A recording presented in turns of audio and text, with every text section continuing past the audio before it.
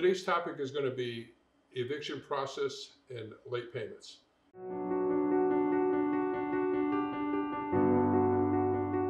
As mentioned in another video, the late payments that we charge are 5% of the periodic rent.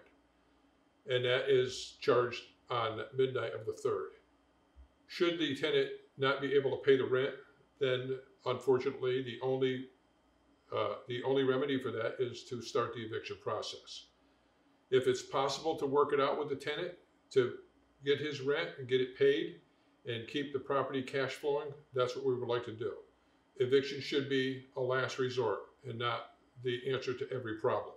So there's a reason why the tenant can't pay the rent. He was screened, he had a job, maybe he lost his job, but if we have to, we will evict a tenant. The process in Nevada takes anywhere from uh, uh, seven to uh, 21 days. Depends on whether or not the tenant moves when he gets the seven-day notice, or if he wants to stay and you have to go to court.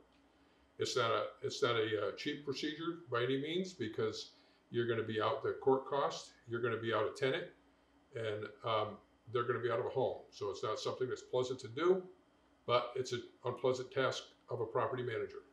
If you have any questions about this, please give us a call. Thanks.